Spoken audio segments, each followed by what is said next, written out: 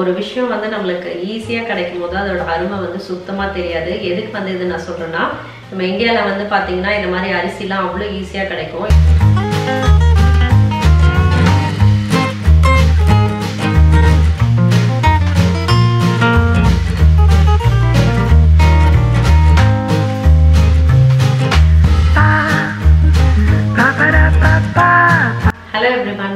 To my channel இன்னைக்கு வந்து morning breakfast lunch and dinner என்னெல்லாம் வந்து நம்ம ஹெல்த்தியாக சாப்பிடலாம் அப்படின்றது தான் காமிக்க போகிறேன் ஸோ மார்னிங் வந்து பார்த்தீங்கன்னா ஒரு ஹெல்த்தியான ஸ்மூத்தியோட தான் வந்து இன்னைக்கு டே வந்து நான் ஸ்டார்ட் பண்ண போகிறேன் லஞ்ச்க்கு வந்து பார்த்தீங்கன்னா நான் மாப்பிள்ளை சம்பா அரிசி தான் வந்து யூஸ் பண்ண போகிறேன் ஸோ அந்த அரிசி வந்து எப்படி குக் பண்ணுறது அப்படின்றதும் காமிக்க போகிறேன் அதுக்கப்புறம் ஒரு சிக்கன் கறியும் செய்ய போகிறோம் ஸோ வாங்க நம்ம வீடியோக்குள்ளே போகலாம்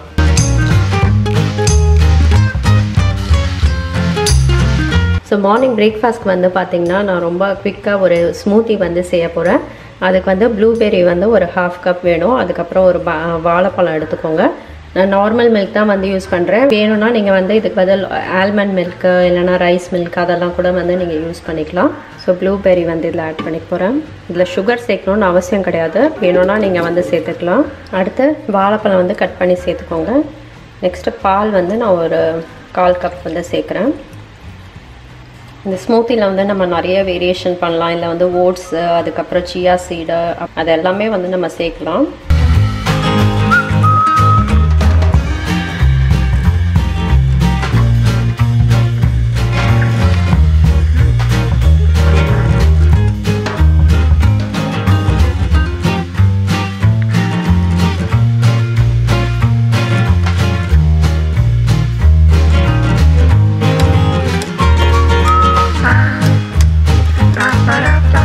இந்த ஒரு கிளாஸ் ஸ்மூத்தி குடித்தாலே வந்து ரொம்ப ஃபுல்லாகிடும்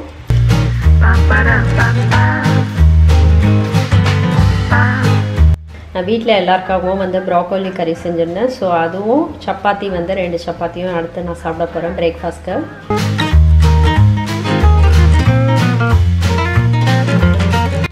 இன்னைக்கு வந்து நான் அரிசி வந்து பார்த்தீங்கன்னா மாப்பிள்ளை சம்பா அரிசி வந்து யூஸ் பண்ண போகிறேன் ஸோ அந்த மாப்பிள்ளை சம்பா அரிசி வந்து எப்படி வந்து குக் பண்ணோம் அப்படின்றதும் உங்களுக்கு செஞ்சு காமிக்க போகிறேன் ஸோ மாப்பிள்ளை சம்பா அரிசி வந்து இது வரைக்கும் நீங்கள் சமைச்சதே இல்லைன்னா கண்டிப்பாக வாங்கி அதை சாப்பிட்டு பாருங்கள் ஃபஸ்ட்டு வந்து மாப்பிள்ளை சம்பா அரிசி வந்து எப்படி இருக்கும்னு காமிக்கிறேன்.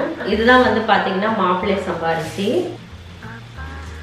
ஸோ கொஞ்சம் கிட்ட அடிச்சுட்டு வந்து காமிக்கிறேன். இதுதான் வந்து மாப்பிள்ளை சம்பா அரிசி. இந்த அரிசி வந்து பார்த்தீங்கன்னா உடம்புக்கு வந்து ரொம்ப நல்லது. ஒரு விஷயம் வந்து நம்மளுக்கு ஈஸியாக கிடைக்கும் போது அதோட அருமை வந்து சுத்தமாக தெரியாது. எதுக்கு வந்து இது நான் சொல்கிறேன்னா நம்ம இந்தியாவில் வந்து பார்த்தீங்கன்னா இந்த மாதிரி அரிசிலாம் அவ்வளோ ஈஸியாக கிடைக்கும். இப்போ நான் இருக்கிற ஊரில் வந்து இந்த அரிசி வந்து எனக்கு கிடைக்கல டென்மார்க்கில் நான் வந்து ஆன்லைனில் இதை வந்து யூஎஸ்லேருந்து ஆர்டர் பண்ணி வாங்கினேன். ஸோ அவ்வளோ கஷ்டம் நம்மளுக்கு வந்து இந்த மாதிரி அரிசிலாம் வந்து கிடைக்கிறது. பட் இந்தியாவில் வந்து பார்த்திங்கன்னா அவ்வளோ ஈஸியாக வந்து இந்த மாதிரி அரிசிலாம் கிடைக்கும். ஆனால் நிறைய பேருக்கு வந்து இந்த அரிசி வந்து இந்த மாதிரி ஒரு அரிசி இருக்குன்றதே தெரியாது.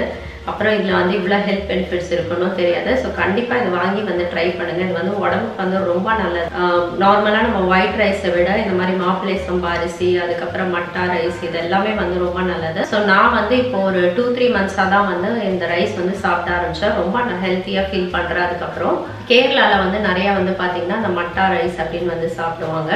ஸோ அதுவும் நான் ட்ரை பண்ணியிருக்கேன். ஆனால் எனக்கு அதை விட வந்து பார்த்தீங்கன்னா இது வந்து டேஸ்ட் வந்து நல்லா இருந்த மாதிரி இருந்தது. இது வந்து குக்கிங் டைம் வந்து கொஞ்சம் ஜாஸ்தியாக இருக்கும். ஒயிட் ரைஸ் சாப்பிட்றதுல வந்து பாதி அளவு வந்து இந்த ரைஸ் சாப்பிட்டிங்கன்னா கூட வந்து அவ்வளோ ஃபில்லிங்காக இருக்கும். ரொம்ப நேரத்துக்கு.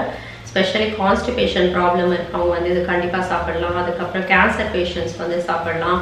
அப்புறம் இதில் வந்து ரொம்ப அயன் வந்து பார்த்திங்கன்னா ரொம்ப ஹையாக இருக்குது ஸோ இது மாதிரி நிறைய வந்து ஹெல்த் பெனிஃபிட்ஸ் இருக்குது இந்த அரிசியில். உடம்புக்கு வந்து அவ்வளோ நல்லது. ஸோ கண்டிப்பாக நீங்கள் இந்த அரிசி வந்து ட்ரை பண்ணி பாருங்கள் இந்த மாப்பிள்ளை சம்பா அரிசி வந்து எப்படி வந்து குக் பண்ணோம் அப்படின்றதும் இன்றைக்கி நான் உங்களுக்கு காமிக்கிறேன். மாப்பிள்ளை சம்பா அரிசி வந்து நான் ஒரு கிளாஸ் எடுத்திருக்கேன். ஃபஸ்ட்டு வந்து இந்த அரிசியை வந்து நம்ம நல்லா தண்ணியில் வாஷ் பண்ணணும். இந்த மாப்பிள்ளை சம்பா அரிசி வந்து நான் வந்து ப்ரெஷர் குக் பண்ண போகிறதுல இந்த பாத்திரத்திலே தான் வந்து குக் பண்ண போகிறேன் ஃபஸ்ட்டு வந்து நீங்கள் என்ன பண்ணோன்னா மினிமம் வந்து ஒரு ரெண்டு மணி நேரமாவது வந்து நீங்கள் தண்ணியில் வந்து ஊற வைக்கணும். அதுக்கப்புறம் தான் வந்து இந்த அரிசி வந்து சமைக்க முடியும். ஒரு சில பேர் வந்து முன்னாடி நாளே கூட வந்து தண்ணி ஊற்றிலாம் ஊற வைப்பாங்க. பட் நீங்கள் காலையில் செய்கிறீங்கன்னா அட்லீஸ்ட் ஒரு டூ ஹவர்ஸ் நீங்கள் வச்சிங்கன்னா கூட போதும். இப்போ நம்ம தண்ணி வந்து இதுக்கு நான் ஒரு எட்டு கிளாஸ் கிட்ட தண்ணி சேர்க்க போகிறேன்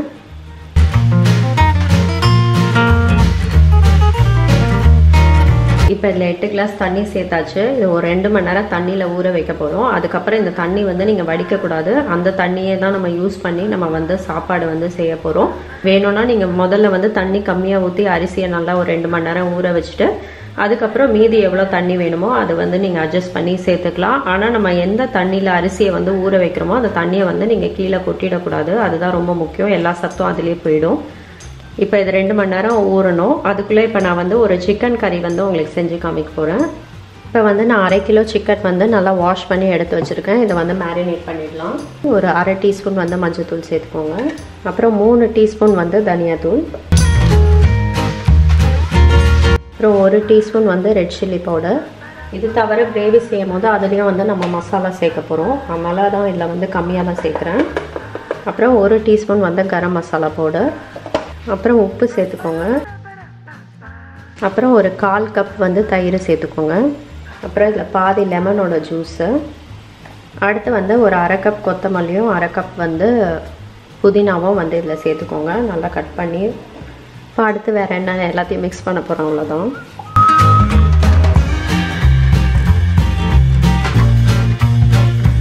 இப்போ பார்க்கும்போது கொத்தமல்லி புதினாலாம் என்னவோ நிறையா இருந்த மாதிரி இருக்கும். பட் நம்ம வந்து கிரேவியில் செய்யும் போது அது கரெக்டாகிடும் இதை வந்து ஒரு கால் மணி நேரம் வந்து கவர் பண்ணி மேரினேட் பண்ண விட்டுருங்க.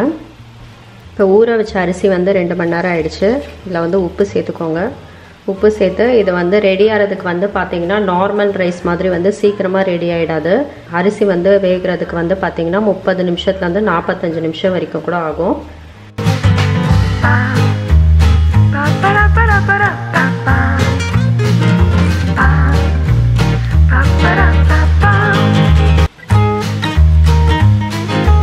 அரிசியை வந்து கவர் பண்ணி மீடியம் ஃப்ளேமில் வச்சாச்சு.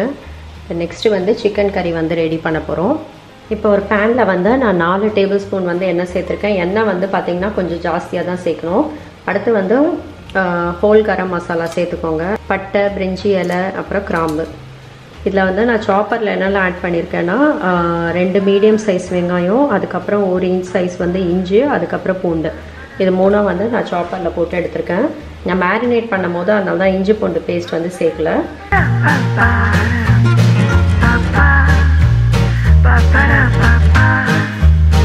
அடுத்து இந்த ரெசிபிக்கு தேவையான அளவு உப்பு சேர்த்துக்கோங்க.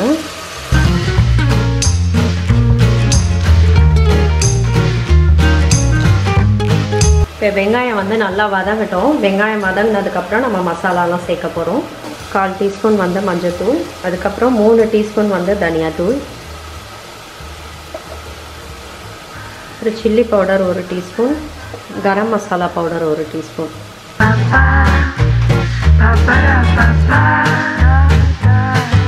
இந்த மசாலாவை நல்லா ஒரு டூ டூ த்ரீ மினிட்ஸ் வந்து இந்த எண்ணெயில் போட்டு நல்லா பரட்டி எடுங்க.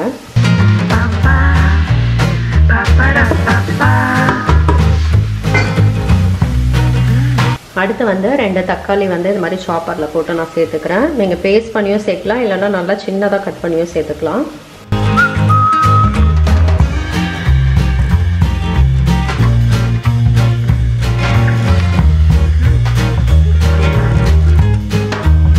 ஸோ தக்காளியோட அந்த மசாலா குக் ஆகி எண்ணெய் வந்து நல்லா பிரிஞ்சு வரட்டும். அதுக்கப்புறம் நம்ம சிக்கன் சேர்க்கலாம். தக்காளியும் வந்து கொஞ்சம் நல்லா வெந்துருச்சு. இப்போ நம்ம மேரினேட் பண்ணி வச்சுருக்க சிக்கன் வந்து இதில் சேர்த்துக்கலாம்.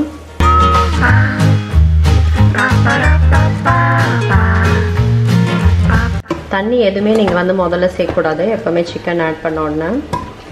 ஃபஸ்ட்டு அந்த மசாலா நல்லா மிக்ஸ் பண்ணிவிட்டு அதுக்கப்புறம் தான் நம்ம வந்து தண்ணி சேர்க்கணும். முதல்ல வந்து ஒரு த்ரீ டு ஃபைவ் மினிட்ஸ் வந்து தண்ணி எதுவுமே சேர்க்காம கவர் பண்ணி மீடியம் ஃப்ளேமில் வந்து குக் பண்ணுங்கள் அதுக்கப்புறம் வந்து நம்ம தண்ணி சேர்த்துக்கலாம். இப்போ அஞ்சு நிமிஷம் ஆயிடுச்சு. நெக்ஸ்ட் வந்து நம்ம தண்ணி எவ்வளோ வேணுமோ அது அளவுக்கு ஏற்ற மாதிரி நம்ம சேர்த்துக்கலாம். தண்ணி வந்து உங்களுக்கு கிரேவி எவ்வளோ திக்னஸ் வேணுமோ அதுக்கேற்ற மாதிரி அட்ஜஸ்ட் பண்ணிக்கலாம். நான் வந்து ஒரு கப் வந்து தண்ணி சேர்க்குறேன். சிக்கன் வந்து பார்த்தீங்கன்னா நீங்கள் ரொம்ப நேரம் குக் பண்ணிங்கன்னா அப்படியே ரப்பர் மாதிரி ஆகிடும் ஸோ நான் வந்து டுவெண்ட்டி மினிட்ஸ் தான் குக் பண்ண போகிறேன் ஏற்கனவே நான் அஞ்சு நிமிஷம் குக் பண்ணிவிட்டேன் அதனால் இன்னும் வந்து ஒரு ஃபிஃப்டீன் மினிட்ஸ் குக் பண்ணால் போதும். சிக்கன் வந்து ரெடி ஆகிடும் இப்போ நம்ம ரைஸ் வந்து ரெடி ஆகிடுச்சு கிட்டத்தட்ட ஒரு ஃபார்ட்டி ஃபைவ் மினிட்ஸ் ஆயிருக்கு ரைஸ் ரெடியாக ஸோ ரைஸ் வந்து ரெடி ஆகிடுச்சுன்னா பார்த்தீங்கன்னா இப்படி தான் இருக்கும் உள்ள. இப்போ தண்ணி வந்து வடிச்சிடலாம். இருபது நிமிஷம் ஆகிடுச்சு நம்ம சிக்கன் கறி வந்து ரெடி ஆகிடுச்சு இப்போ எப்படி இருக்குன்னு பார்க்கலாம்.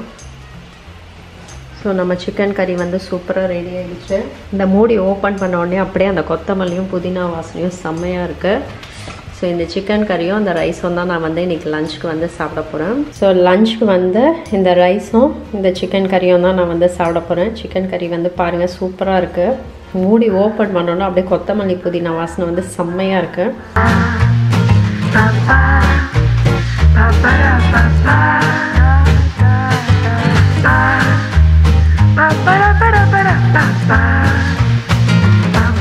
நைட்டு வந்து டின்னருக்கு வந்து நான் ஏற்கனவே மத்தியானம் செஞ்ச சிக்கன் கறியும் தோசையும் தான் வந்து சாப்பிட போகிறேன் கண்டிப்பாக ஈவினிங் வந்து பார்த்திங்கன்னா நான் வாக்கிங் வந்து போயிடுவேன். ஒரு லாங் வாக் போயிட்டு வருவேன். நான் அவ்வளோ ரெஃப்ரெஷிங்காக இருக்கும்.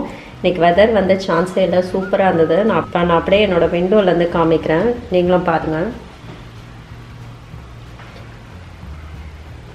ஸோ நான் இன்றைக்கி வாக்கிங் போயிட்டு வர்றதுக்கு வந்து கொஞ்சம் டைம் ஆகிடுச்சு டைம் இப்போ செவன் தேர்ட்டி கிட்டத்தட்ட பத்து மணி வரைக்கும் வந்து இப்படி தான் வெளிச்சமாக இருக்கும்.